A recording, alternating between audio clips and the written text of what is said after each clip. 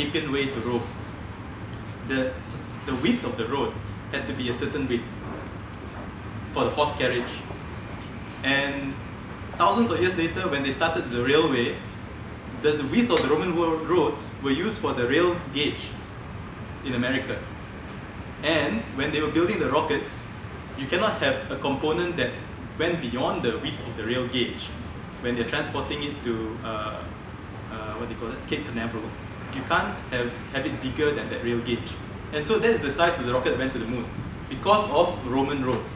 Now, uh, these things can be changed because these things need to, we just need to have, as Malaysians in a globalized world, in the 21st century where things are more flexible, what does not work anymore for us as a society needs to be discussed openly and it is up to us to bring that culture, to create that space, to have the discussions which are important for the sake of our future. And I think a lot of the issues in Malaysia need some leadership in that sense because no one wants to, to put their head out there to be a bit controversial, to open up that space. You know, there are a lot of good things in Australia. One thing about Australia is uh, it's egalitarianism. And because they're so egalitarian, you know, they're so convivial with one another, they don't mind just jabbing each other once in a while. But it's done in such a friendly spirit. But in Malaysia, that sort of culture becomes very offensive to, to some. Um, but we can change that if more of the Australian graduates go back and then start altering their cultures. Hey, it's, not, it's alright, you don't have to get sensitive about it. Don't sweat the small stuff. And really give everyone a fair go in, in expressing themselves, I think. Those uh, things we are referring to can change it's good to keep some of them, but the things that don't work anymore needs to be addressed in an open way. But that's up to all of us here. Thank you. Any other questions? Uh, another five minutes. And one question, me. Questions? Hi, hi everyone. My name is uh, Afiq. I'm a student as well. I think going back to Raj's question, which I think I'm sorry, uh, uh, to me, I don't think you addressed was, uh, I'm not sure whether I got your question right, but it's with regards to um, cultural identity and globalization. So with regards to this, what are your thoughts? I mean, uh, we have a lot of Melbourneian um, students coming to Melbourne and studying in Melbourne and other parts of the country, and they come back to Malaysia having this, I might be wrong, but I feel like it is an elitist sort of view. I'm from a different country, I come back and I want to, it's like si tanggang, if I could use that uh, analogy. Okay?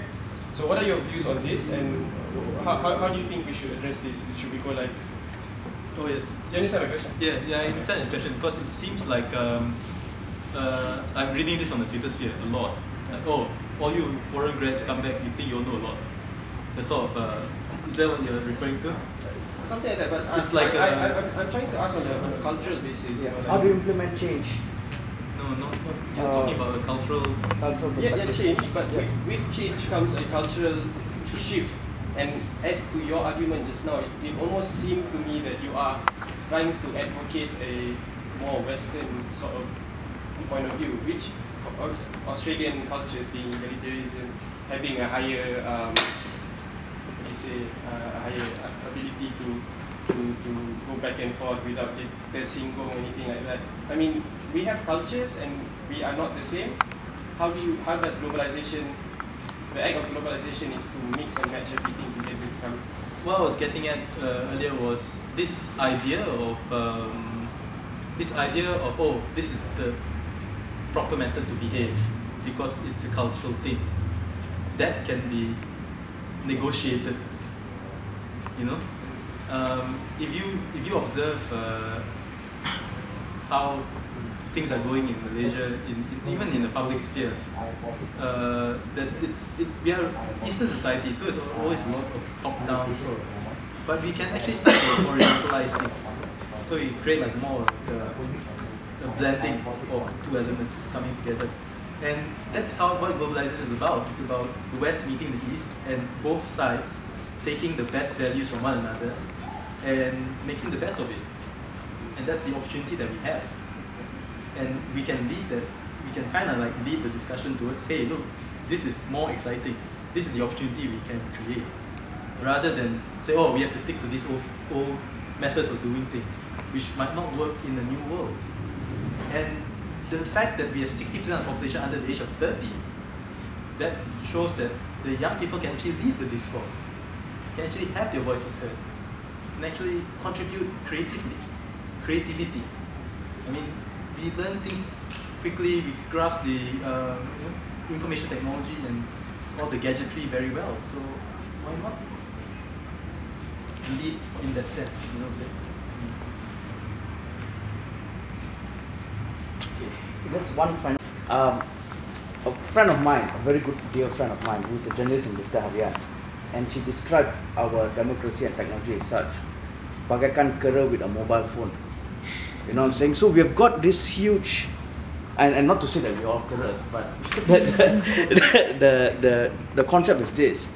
Our method of transparency, openness, and all can be a bit old fashioned in a lot of ways. Now we have got something totally new in our hands. Now, if we just adopt it spot on without and taking all Western values straight on, it's going to be very disruptive for our society. I understand that change needs to be done, but change needs to be implemented cautiously and slowly. Hmm. Once you do that principles cautiously and slowly, then you will have an issue of inclusiveness rather than creating an elitist level of society. And the only way that this method can be implemented slowly is the education system, the uh, promotion of unity of all Malaysians, the promotion, uh, promotion of uh, values that inculcate uh, discussion, discourse, rather than just memorizing and, and blurting it out. Uh, that is how we want to create a young mindset who have critical values inbuilt in them since young. That's my comment. Thank you. Thank you.